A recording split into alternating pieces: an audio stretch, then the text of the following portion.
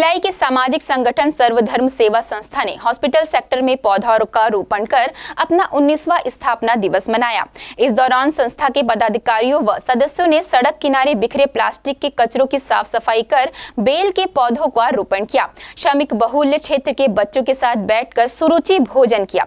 संस्था द्वारा विश्व पर्यावरण दिवस पाँच जून दो से मिशन ग्रीन छत्तीसगढ़ अभियान की शुरुआत की गई। अभियान के तहत पूरा छत्तीसगढ़ में दस हज़ार पौधे लगाने का संकल्प लिया गया है।